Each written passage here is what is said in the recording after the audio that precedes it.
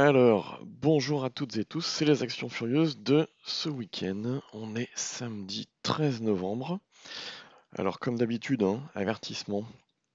euh, cette vidéo est uniquement à but pédagogique, je partage simplement mes propres avis et réflexions. Les actions présentées ne sont en aucun cas des conseils d'achat ou de vente et vous êtes seul responsable de vos investissements. Mangez 5 fruits et légumes par jour. Si vous souhaitez me suivre, c'est sur Twitter, France. Et puis, bah, sans plus attendre, on va attaquer direct par le CAC. On va se mettre en données semaine pour voir un petit peu ce qui s'est passé cette semaine. Bah, simplement, la tendance a continué. On est rentré euh, cette semaine-là en zone de force, donc la zone bleu turquoise sur l'indicateur extra trend que j'utilise sur mes graphes. Et puis, bah, simplement, cette semaine, on a continué le mouvement qui était en cours. Euh, ce qui est notable cette semaine, c'est qu'on a enfin réussi à passer les 7075 alors c'est noté 50, mais 7075 à la louche, euh, qui faisait barrage depuis bah, plusieurs journées. Alors, on va passer en revue différentes valeurs. Ça peut être aussi bien des valeurs qui ont bien bougé cette semaine qu'on suivait auparavant, ou alors des valeurs que je surveille encore. Euh, donc, on va commencer, bah, tiens, directement, on va faire par ordre alphabétique, tout bêtement. Albert. Euh, on avait donc sur l'indicateur extra trend cette résistance dynamique là qui a été cassée. Derrière, on a un beau mouvement avec des volumes, etc. Alors à chaque fois, les actions que je partage avec vous, ce sont des actions qui en données jours sont dans leur zone de force, mais également en données semaines, soit sont dans leur zone de force, comme ici, soit sont en passe de déclencher une zone de force. C'est ce qui est le cas actuellement, c'est-à-dire qu'on a une résistance dynamique, une résistance dynamique en données semaines ici. On était sous la ligne de tendance, on passe au-dessus, dans très peu de temps on va déclencher une zone de force. Donc ce qu'on joue dans ce cas-là, c'est la propagation du signal des unités inférieures vers les, unités supérieures, c'est-à-dire que en jour, on a déclenché cette zone de force-là, et en semaine, bah, ce qu'on joue, c'est la propagation du signal sur cette unité-là.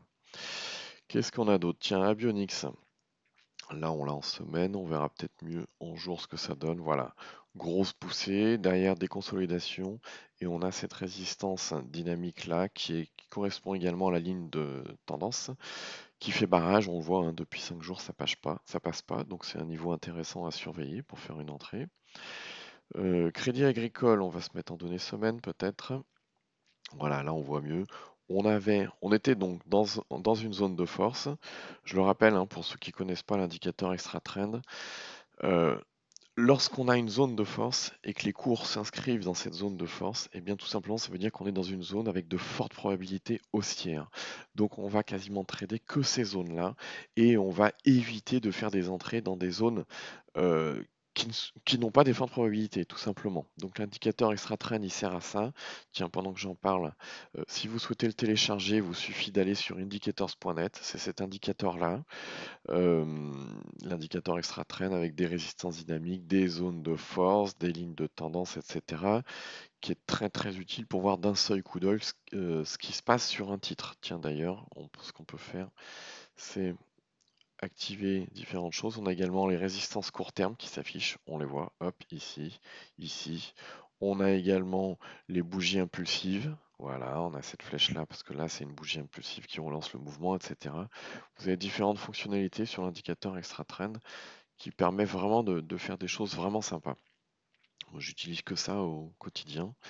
Euh, ensuite, qu'est-ce qu'on a? On a Airbus, bah, en bougie semaine, pareil, on a une oblique baissière sur la tête. Alors, vous connaissez la manière dont je procède. Euh, vraiment, vous pouvez définir la stratégie que vous souhaitez. Moi, en tout cas, celle-ci, c'est la mienne, c'est-à-dire que je cherche une zone de force et dans cette zone de force, lorsque je détecte qu'il y a soit un dernier plus haut qui fait barrage, soit une oblique baissière qui fait barrage, bah, ça me donne un, niveau à surveiller euh, pour la continuité du mouvement. Et bien souvent, comme il y a des compressions de volatilité, on a une explosion de la volatilité derrière et un beau mouvement. Donc voilà, Airbus, ce que je surveille, c'est ça. Pourquoi on a déjà eu trois points de contact sur trois semaines différentes et on voit bien que cette ligne oblique là, cette résistance oblique, bah, fait barrage actuellement. Donc euh, c'est ce que je surveille. Euh, cette semaine a beaucoup bougé bah, Adthink Media, euh, parce qu'il y a eu la publication. Alors on voit que ça a déclenché une zone de force, on voit qu'on a cassé la résistance dynamique. Si on se met en données jour, alors attention, hein, Attention à la liquidité des différents titres, je parle de celle-ci, mais elle n'est pas très très très liquide. Ici, question de résistance dynamique, et la dernière, mouvement, volatilité et des volumes. Quand je dis qu'elle n'est pas très liquide, c'est 1,5 million. Ce que vous voyez en bas, ce ne sont pas les volumes, mais c'est le capital échangé. Je me base là-dessus euh, depuis quasiment toujours. parce que on a bah, seulement 1 million d'euros euh, échangé par jour, ça fait assez peu et ça rend le titre assez peu liquide, donc il faut faire attention malgré tout. Euh, tiens, on va se remettre en données semaine et on va se mettre sur CrossJect. Tiens, on peut même, se mettre en données mois. CrossJect, voilà, typiquement le type de propagation que je recherche. En données mois, on est en zone de force, on a eu du gros mouvement. Là, on a une volatilité, qui s'amenuise au fur et à mesure du temps, on a des volumes qui baissent, on voit que les cours sont contenus dans ce triangle-là. Donc, qu'est-ce qu'on va guetter? On va guetter la sortie par le haut de debt. Et donc, on va aller chercher dans les unités plus basses des points d'entrée qui vont nous permettre de suivre la propagation de ce signal-là. Alors, typiquement, Ici, en données semaine, CrossJet est dans sa euh, zone de force. On est dans la zone bleue turquoise. Hein. Donc on, est dans une zone à forte probabilité haussière. Mais on a au-dessus de la tête deux choses qui empêchent les cours de passer pour l'instant. C'est un, cette résistance dynamique. Et deux, la résistance oblique qu'il y a là. On peut simplement guetter déjà le passage de la résistance dynamique pour faire une entrée. Pour jouer la cassure de la résistance oblique, s'il y a un échec, ça nous permet de sortir flat ou quelque chose comme ça. Euh, et si ça passe, bah, ça nous permet de jouer ça sur l'unité long terme. Si on regarde en, données jour, qu'est-ce qu'on a? Eh bien, en données jour, euh, on a une résistance dynamique qui se met en place. Là, on est sous la ligne de tendance. On peut guetter une bougie à faible volatilité pour faire une entrée à moindre risque. Euh, et puis, bah, jouer la propagation sur les unités supérieures, tout bêtement. Qu'est-ce qu'on a d'autre? On a Allen. Alors Allen, si on se met en bougie semaine, effectivement, on a cette résistance dynamique là. Vous voyez à quoi elle sert la résistance dynamique de l'indicateur extra-trend On a cette résistance dynamique là qui fait barrage pour l'instant. Donc ce qu'on va guetter, c'est la cassure de cette résistance dynamique pour une propagation sur les unités plus hausses. Mais on aurait pu regarder également en données jour pour essayer de trouver un point d'entrée. Euh, pour euh, jouer cette propagation là. Euh, hop, le point d'entrée. Alors il y a magnétisme, c'est pas toujours facile à tracer. Voilà. On avait ce mouvement là en pleine zone de force, derrière une consolidation, et puis là on réintègre la zone de force, on casse l'oblique et derrière on a une impulsion haussière. Euh, donc maintenant, à l'ENS, ce qu'on va guetter, bah, simplement c'est la cassure de cette résistance dynamique là, hein, tout bêtement. On a, tiens, je n'ai sauté une, c'est SKR. SKR, typiquement, oblique baissière, cassure, boum, derrière on a un mouvement. Euh, si on se met en données jour, c'est pareil. Alors là, c'est pas le moment de rentrer sur SKR, hein, parce qu'on est en pleine extension, etc. Par contre, qu'est-ce qu'on pouvait guetter? Bah, L'impulsion, la consolidation, là on voit qu'on a des bougies de plus en plus petites, et puis bah, il y a un moment où ça redépart. Ça redémarre. On cherche le niveau euh, qui faisait barrage. Bah, le niveau qui faisait barrage, c'est celui-ci. Hein. Et puis une fois que ça casse, hop, on est parti.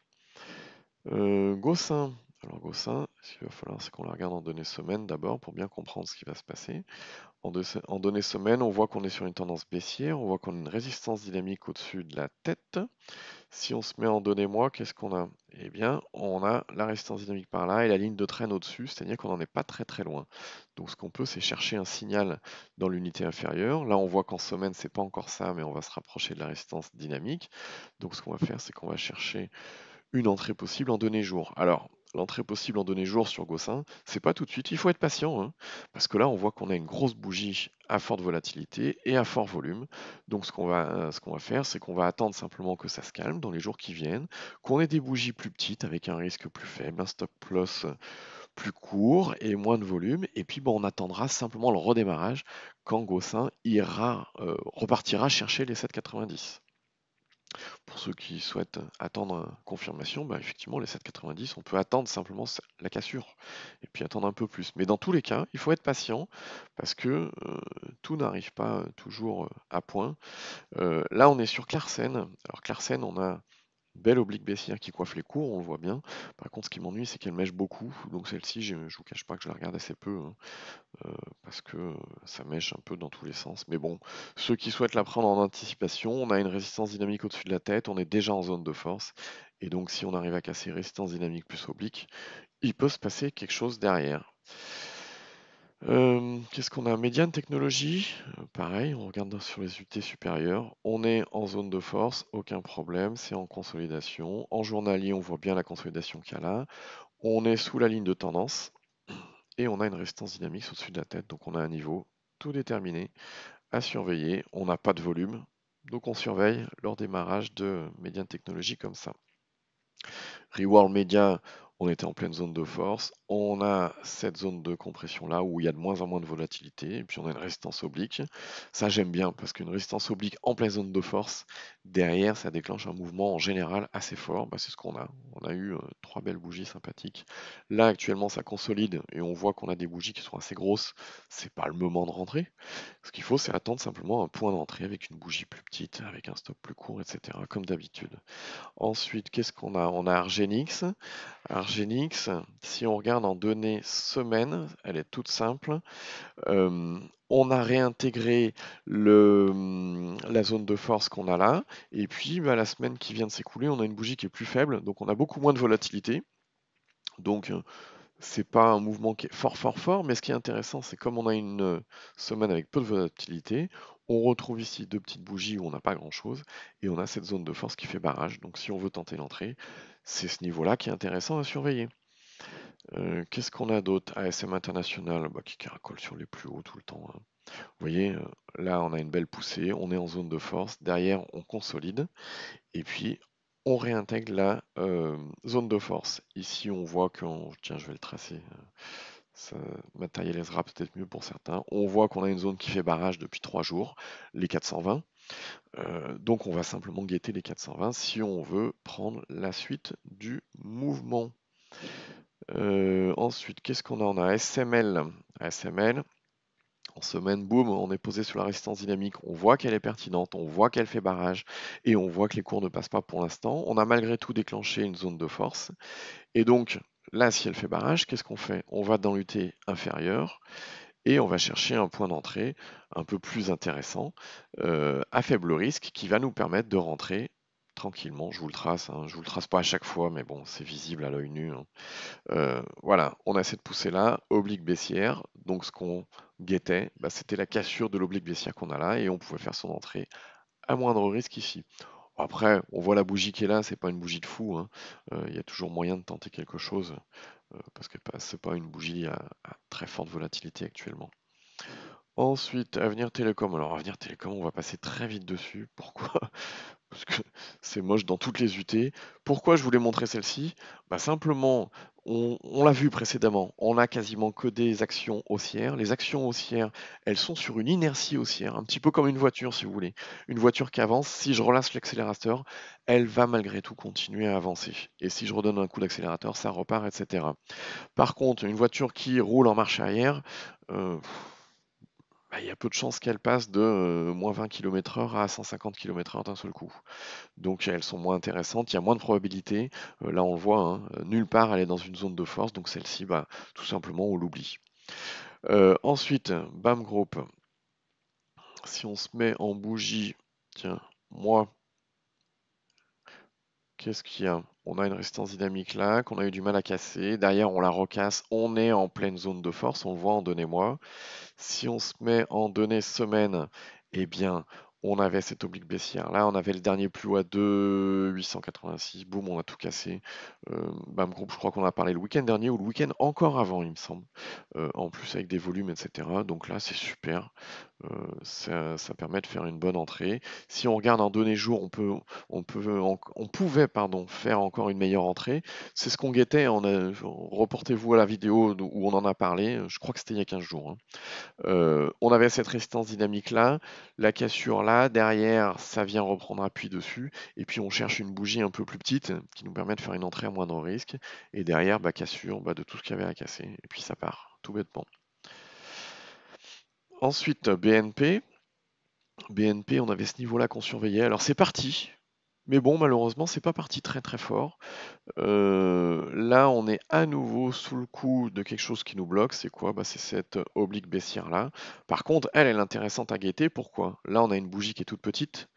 Au-dessus, on a une résistance dynamique. En dessous, on a un support. C'est parfait. donc notre entrée, on l'a, hein, elle est belle. Hein. Euh, ensuite, on a Bolloré, Bolloré qui passe en pleine zone de force, qui casse sa résistance dynamique. Si on se met en données semaine, eh bien, euh, en bougie semaine, pardon, eh bien, on est en pleine zone de force. On avait bien évidemment, je vous le trace à chaque fois, mais ça se voit à l'œil nu, hein, cette oblique baissière qui était là. Euh, et ici, une bougie semaine qui était toute petite sur laquelle on pouvait chercher une entrée. Eh bien, l'entrée, si on allait dans l'UT inférieur, c'est celle qui est déjà tracée. Hein. C'est la cassure de cette oblique baissière et boum, derrière, c'est parti. Brunel. Alors Brunel, on va la regarder plutôt en données semaine pour savoir ce qui est intéressant à faire. En données semaine, qu'est-ce qu'il y On avait cette oblique baissière là qu'on a cassée. On a cassé la résistance dynamique, échec sur la résistance dynamique, mais on reprend appui sur l'oblique baissière. Donc si on regarde dans l'UT inférieur pour essayer de trouver une entrée, qu'est-ce qu'on a dans l'UT inférieur Eh bien pour l'instant, on n'est vraiment pas en zone de force. Donc pour l'instant, en UT inférieur, bah moi je vais l'oublier. Parce que euh, j'ai pas les probabilités avec moi, et vous l'avez vu avant, on a tellement d'autres possibilités qui sont bien plus intéressantes, avec des statistiques bien plus intéressantes, que celle-ci je l'oublie. Euh, si elle part sans moi, eh ben, tant pis, mais en tout cas j'ai joué des statistiques, j'ai joué des probabilités, et euh, je suis allé sur les valeurs qui ont le plus de probabilités pour moi. Euh, Capgemini, bah, très bien, hein, Capgemini en semaine, on est toujours en zone de force, c'est super. Euh, ici, voilà, on avait une cassure de la résistance dynamique et de la ligne de trend, de tendance, et puis derrière c'est parti. En bougie jour, on est pas mal, on a juste ce niveau-là qui bloque les 213, donc intéressant, les 213 à guetter dans les jours qui viennent pour faire une entrée. AXA, alors AXA, on avait cette oblique baissière là qu'on surveillait. Ensuite, c'est parti. Et puis, on a vu des bougies de plus en plus petites. Et puis, ce dernier plus haut là qu'on avait à 24 445. Donc, les bougies de plus en plus petites, ça doit vous alerter. Euh, c'est pas une bougie grande qui doit vous alerter, c'est une bougie de plus en plus petite. Pourquoi? Parce que c'est un point d'entrée idéal avec un ratio gain-risque idéal, etc. Et derrière, là, c'est parti. Pour l'instant, on est en consolidation. Et vous voyez qu'on est en consolidation. Là, il y avait des grosses bougies. Là, regardez les bougies actuelles comme elles sont petites. Intéressant. Je dis rien de plus, mais intéressant. Euh, DBG, on a ce niveau-là qui fait barrage. Les 10-70, on est en zone de force également en hebdo, etc. Dieterren, on est en zone de force en journalier, en hebdo, ça continue son chemin tranquille. Dassault System, on avait d'abord cette résistance oblique qui a été cassée, des bougies toutes petites. Derrière, boum, expansion. Derrière, on avait ce niveau également à casser. Vous voyez cette bougie toute petite? Là aussi, c'était un point d'entrée super. Et là, on part, etc. Là, qu'est-ce qu'on avait? On avait au-dessus de la tête une oblique. je vous dis que je vous les trace pas à chaque fois, mais je vous les trace quand même. Euh, je suis désolé, mais ça, se voit bien. Euh, on avait une oblique baissière qui a été cassée. Voilà, on est super. Euh, qu'est-ce qu'on a d'autre? Essilor, pareil, on avait cette oblique baissière, on avait les résistances dynamiques là, on avait le dernier plus haut là, tout a été cassé. Et puis là, actuellement, on est en consolidation. Donc qu'est-ce que ça veut dire? Ça veut dire que si on regarde l'UT supérieur, on se met en semaine, eh bien on est en pleine zone de force. Donc on est en pure consolidation pour l'instant. Et ce qu'on va guetter, bah, c'est un retour de la tendance. Le retour de tendance, on a ces bougies baissières là. Là, on avait une bougie plus petite, mais on n'est pas en zone de force. Donc moi, ce que je ferais, c'est que j'attendrai par exemple la cassure de la résistance dynamique qu'on a là et de la ligne de tendance là, puis le retour en zone de force. Et puis derrière, on sera tranquille. Forestia qui va de plus en plus haut. Euh, pareil, si je me mets en données en bougie semaine, on est très bien, on a cassé la résistance dynamique. Et puis ça part tranquillement. Eramet, alors en bougie semaine, euh, voilà, Eramet, c'est pas beau c'est vraiment pas beau en bougie semaine. Donc pour l'instant, moi, j'ai pas les probabilités avec moi, donc je vais pas vais pas m'y intéresser, même si en journalier, je vois une zone de force, je vois une résistance dynamique. À partir du moment où en semaine, je suis pas dans une zone de force ou proche d'une zone de force, Là, on est quand même assez loin hein, pour l'instant de la zone de force. Bah, pour l'instant, ça ne m'intéresse pas. Et comme je vous le disais, c'est une question de préférence hein, vis-à-vis des valeurs qui ont des fortes probabilités par rapport à celles qui n'en ont pas. Celles qui n'ont pas des fortes probabilités, ça ne veut pas dire qu'elles ne vont pas partir. Ça veut dire tout simplement qu'il y a moins de probabilités. Donc, elles peuvent partir, mais j'avais moins de probabilités. Donc, euh, je fais bien de la laisser sur le côté pour l'instant. Je verrai comment elle évolue pour savoir si je reviens dessus ou pas.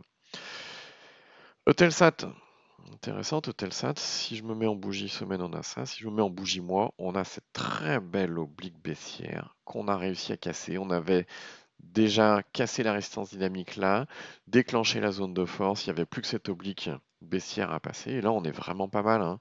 Si on se met en bougie semaine, on avait une cassure de résistance dynamique là. On avait même là des bougies toutes petites compressées qui donnaient un point d'entrée sympa. La cassure de la résistance dynamique qui donnait un point d'entrée sympa. Là, on venait taquiner la résistance oblique. On a fait des bougies de plus en plus petites. Regardez par rapport à celles-ci, si elles sont pas petites, hop, ça offrait un point d'entrée sympa. Et dès que l'oblique baissière était cassée, on pouvait faire notre entrée et profiter de la semaine de hausse qui est sympathique. Si on voulait chercher encore plus bas, qu'est-ce qu'on avait? Eh bien, on avait cette poussée. Derrière, on consolidait et puis ben, on cherchait soit la cassure de la résistance dynamique qui était là, soit la cassure de la résistance oblique qu'on a là et on est pas mal. Hein.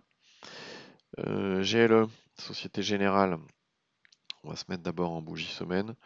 On est en pleine zone de force, on a une poussée, des bougies de plus en plus petites, une oblique baissière au-dessus de la tête, boum, on joue la cassure. Malheureusement, on est revenu prendre appui dessus. Donc c'est pas grave, hein, ça arrive. On est revenu prendre appui, donc là, qu'est-ce qu'on va guetter? Bah, C'est assez simple. Hein. Ce qu'on va guetter, c'est quoi? On va la tracer là. Bim, on voit bien que les bougies sont de plus en plus compressées et qu'on est en pleine consolidation et qu'on est sous la ligne de tendance. On a le petit point de la résistance dynamique. Voilà, dès que ce niveau-là est cassé, boum, derrière, on peut être tranquille pour que ça reparte. On a des fortes probabilités avec nous. Pareil, en sens inverse de ce que je vous ai dit tout à l'heure, hein.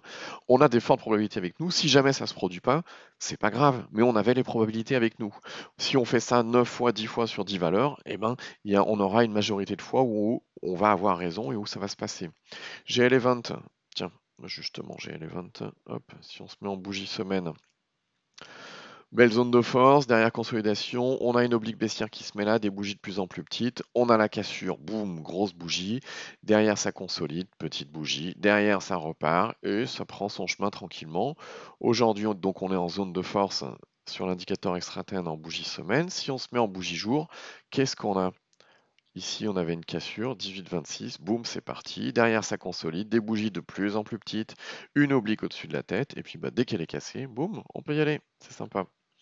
Enfin, c'est pas un conseil, hein, moi c'est ce que je fais. Je vous partage uniquement euh, ce que je surveille et ce que je fais. Guillemot, on avait, si on se met en bougie semaine, voilà, résistance dynamique ici, cassure, début de zone de force. Si on se met en données jour, enfin vous le savez, on la suit depuis longtemps, hein, euh, on pouvait anticiper peut-être en prenant la cassure de résistance dynamique là, en allant voir si ça va taquiner la résistance oblique là. Si ça passait pas, ça nous permet de sortir avec un petit quelque chose ou même flat, hein, comme vous voulez. Ça a passé malgré tout. Derrière, compression, vous voyez cette petite bougie, ça c'est cadeau, boum, ça permet de re-rentrer. Là, gros mouvement, compression. Alors, on n'a pas encore des bougies trop petites, mais à surveiller. Peut-être que lundi, on aura une bougie suffisamment petite pour pouvoir tenter une entrée. Là, on voit que pour l'instant, les volumes ils diminuent. Donc, on est pas mal. Eichmann, même principe, hein, cassure de résistance oblique qui datait depuis un petit peu quand même, hein, puisque si on se met en bougie semaine, voilà, c'était ça. Cassure de résistance oblique, des bougies petites, la ligne de traîne, derrière cassure de résistance dynamique, on crée la zone de force, vous voyez, tout s'enchaîne assez simplement. En journalier, boum, le mouvement là, et puis derrière, qu'est-ce qui se passe? Eichmann, eh, c'est pas beau, on a des bougies petites, on n'a pas de volume. Vous savez ce que ça veut dire? Ça veut dire qu'il faut guetter, euh, bah, chercher un truc qui coiffe les cours. Euh, là, tout bêtement, on a une oblique baissière euh, qui passe comme ça. Vous pouvez la regarder même en unité heure pour avoir un truc un peu plus précis. Mais dès qu'on casse le dernier plus haut ou le plus haut de cette bougie-là, boum, ça peut être un signal d'entrée assez sympa.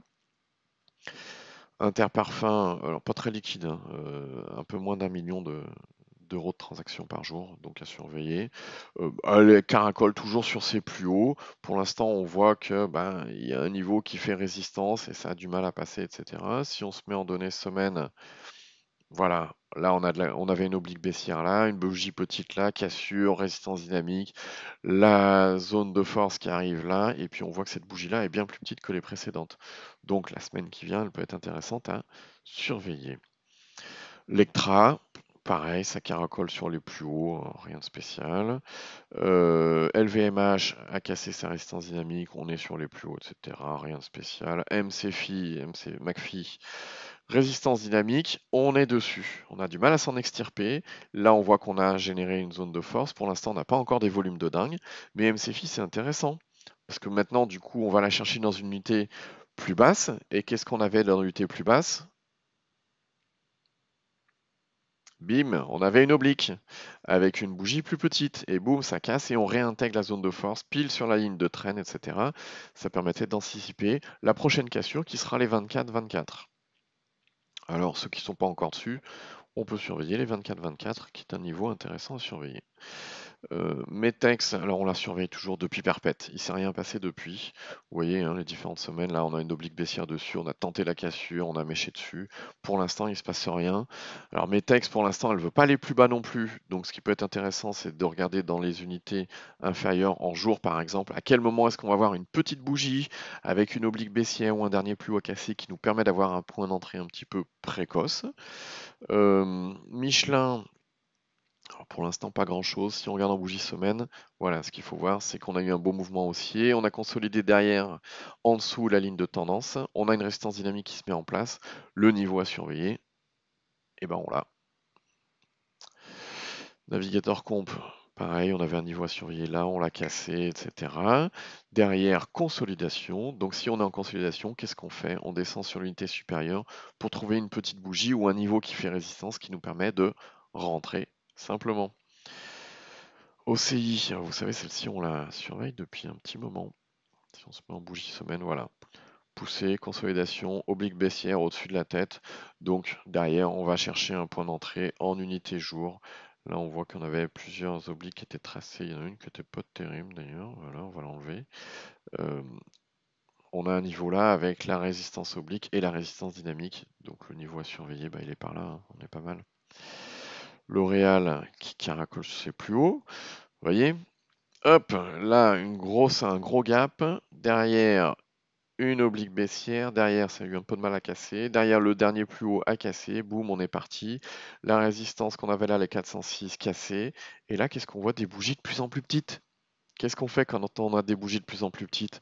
Eh ben, on surveille le niveau. Soit une oblique baissière qui fait barrage, soit le dernier plus haut qui fait barrage, les 415 voyez, ça faisait pas barrage, on était beau. Hein Donc L'Oréal, voilà, la bougie cadeau, c'est celle-ci. Euh, Hermès. Hermès, on va se mettre en semaine, pareil, ça carole colle sur les plus hauts, ça a poussé, derrière consolidation, on avait une oblique blessière sur la tête, une résistance dynamique ici, la ligne de tendance ici, on réintègre la zone de force, donc le niveau il était là, il suffisait de descendre dans l'UT inférieur pour trouver un point d'entrée, et boum, on profitait de tout ça. SFPI, ça caracole sur les plus hauts. Par contre, attention, on voit deux mèches qui sont à peu près sur le même niveau. On est en zone de force, hein, donc pas de problème. Donc si on se met en journalier, qu'est-ce qu'on a?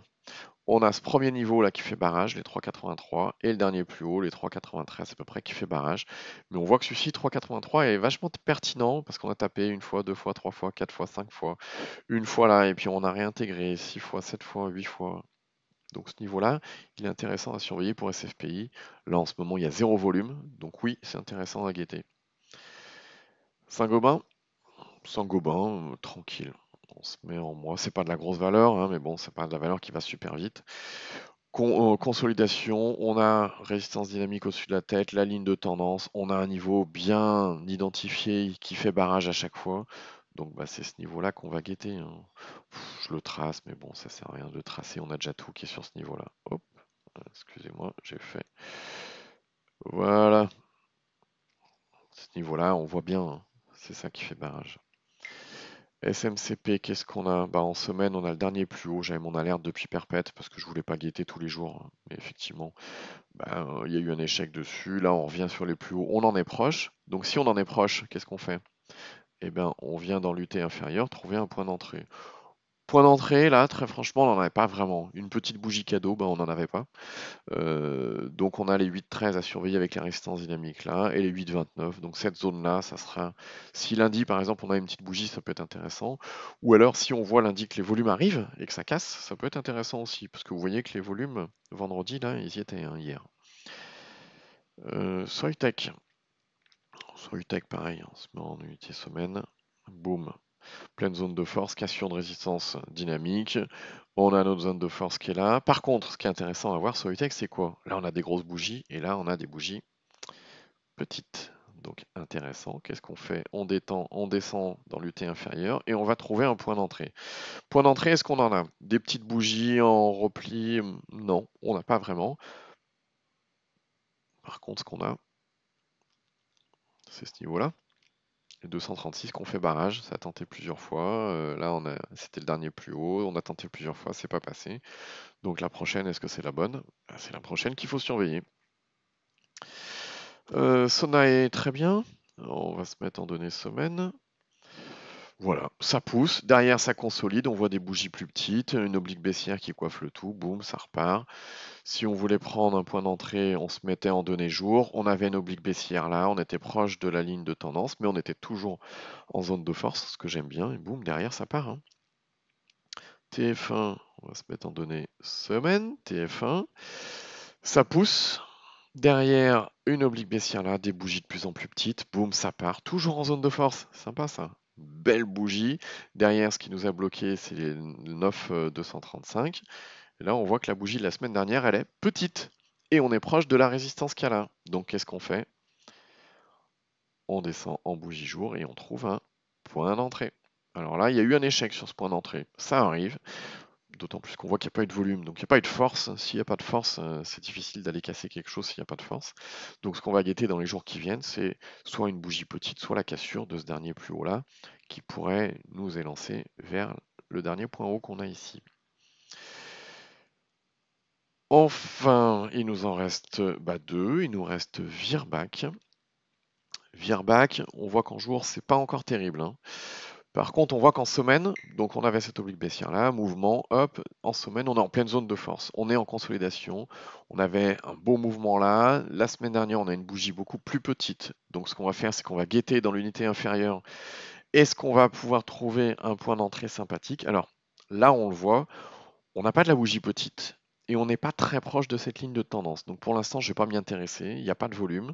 Par contre, dès qu'on s'en approche ou dès qu'il y a une bougie un peu plus petite que les autres qui permet d'avoir une entrée à moindre risque, ben, si je vois une bougie cadeau, euh, pourquoi pas? Ça peut être intéressant. Vivorion en semaine, hop, ça pousse, derrière ça consolide, on a des bougies de plus en plus petites. Là, ça a poussé à la hausse. Alors vous voyez hein, l'exemple qu'on avait vu juste, juste avant, on pourrait être un petit peu dans cette même situation où on est quand même loin de la ligne de tendance. On a une bougie qui est assez petite. Ça peut être un point d'entrée à faible risque, mais il ne faut pas oublier que derrière le chemin il est encore grand. Et là, Vivorion nous donne l'exemple. Derrière, c'est un échec pour l'instant. Donc, c'est un échec, mais là, à ce niveau-là, on n'est plus très loin de cette ligne de tendance. Donc, qu'est-ce qu'on va faire? On va aller dans l'UT inférieur et on va déterminer quel est le prochain niveau à passer. Alors, pour l'instant, on n'a pas grand-chose parce que cette bougie-là, elle est assez importante. On avait ce niveau-là des 18,978 à passer, puisqu'on voit c'était le plus haut de ces dernières bougies-là, et puis il faisait barrage depuis longtemps. Donc c'était un point d'entrée assez cadeau, puisqu'il y avait un risque faible hein, derrière. Si vous n'êtes pas encore rentré, euh, bah moi j'attendrai un peu que ça construise, euh, parce que quitte à ce que ça parte sans vous, hein, c'est pas grave. Hein. Euh, parce que là, on n'a pas vraiment de point d'entrée faible risque. Donc j'attendrai un petit peu. Donc voilà, pour les actions furieuses, du week-end. J'espère que ça vous plaît toujours autant. Euh, mettez-moi en commentaire d'ailleurs euh, si ça vous plaît, si vous voyez des améliorations à apporter, s'il y a des actions que vous vous surveillez et que moi j'ai pas vu, ça peut arriver. Hein. Moi je surveille tout le temps avec mes différents screeners, etc. Et puis je recherche quelque chose de bien précis, il faut dire ce qui est. Hein. Euh, vous, vous avez peut-être vos propres critères et comme vos propres critères ne remplissent peut-être pas les miens, vous avez peut-être des actions intéressantes sous le coude que moi j'ai pas forcément vu. Donc vous pouvez les mettre en commentaire. Euh, mettez des likes, ça fait toujours plaisir. Et puis, bah, si vous souhaitez, euh, euh, bah, chaque soir après, la fermeture, entre 17 et 18 heures, je publie l'analyse de la journée et puis bah, les valeurs que je surveille pour le lendemain. Si vous ne souhaitez pas les louper, vous abonnez à la chaîne et vous cliquez sur la petite cloche pour être alerté dès que la vidéo du soir est publiée. Et puis chaque week-end, comme la vidéo que vous, venez de, visionner, eh ben on fait un tour un peu plus général avec un petit peu tout ce que je surveille, etc. Allez, bon week-end à toutes et tous. Au revoir.